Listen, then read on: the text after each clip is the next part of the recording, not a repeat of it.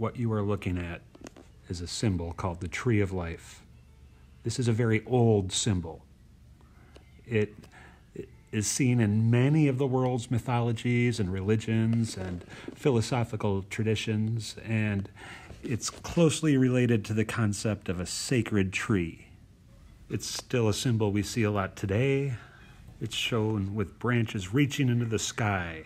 In some religions, that would symbolize heaven, and also roots reaching into the earth, grounding us to the earth. It would symbolize a connection to the earth or to the underworld.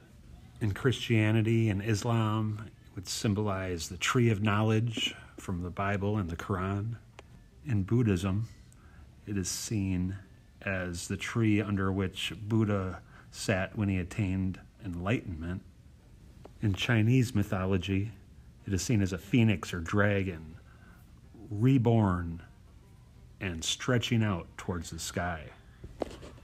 In North America, in the Lakota, it is seen as a connection between the spirit world and the earth. It can be a symbol of personal growth, strength, and beauty. You may have heard of it when we talked about the artist Gustav Klimt earlier this year. It is a very old symbol, and it is seen all over the world.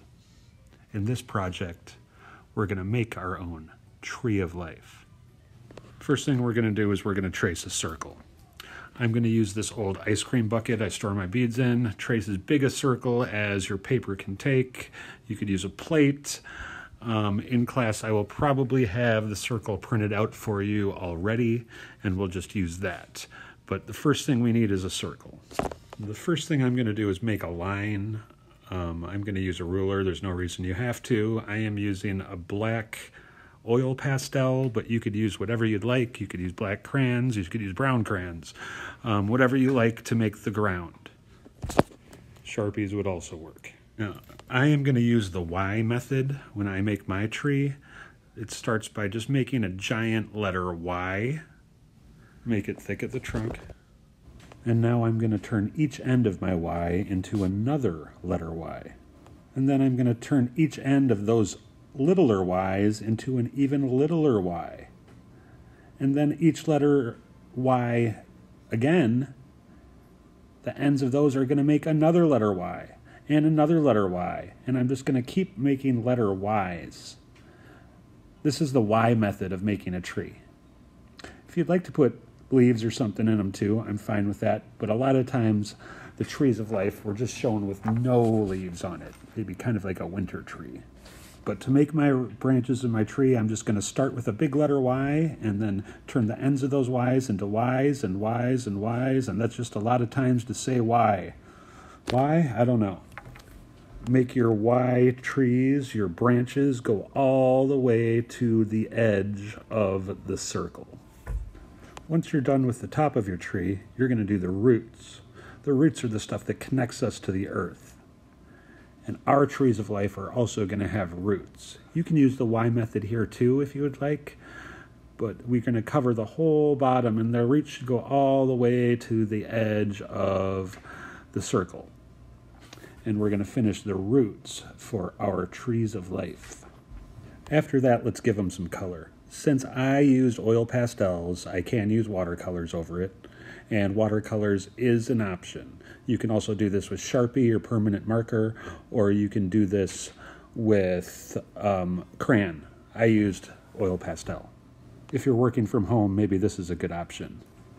The option I think we're going to do at school is the tissue paper option. If you have tissue papers at home, you could do that too, but they have to be the kind that bleed, the kind that colors come out of. So what I'm going to do is I'm going to put many different colored tissue papers over my tree of life and I'm going to paint them with water. It's good to spread them out, mix up the colors. The colors will kind of flow into each other and mix on their own. And it, you've got to make sure that you are using enough water so that the dyes of the tissue paper come out and color our trees of life.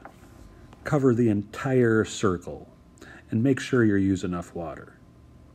Resist the temptation to take the tissue paper off until it's all the way dry. After that, we're going to take our papers and put them in the drying rack and let them dry. This usually takes about three hours, but I usually leave it overnight. Make sure your name's on it. Once the tissue paper is dry, we're going to take it off. It should come right off, and we can see the colors that we get. If you have a little bit of white spots, that's fine. It still looks nice, but if you want to, you could use some watercolors and touch it up. Now that it's dry and I've got my colors down, I'm going to cut out my circle, being careful to cut it right on the line. And here's our tree of life. Now I'm going to use some glue or a glue stick and I'm going to glue it to a background. I will have some squares cut if you are in class, but any kind of background will work. If you don't have one, the circle looks really nice too. Try to center it as best you can. And there you go. Um, I really hope you like making these. Um, if you are in class, I may have you write some stuff around the outside, depending on what you're talking about in your other classes, but I may not. So enjoy making your trees of life.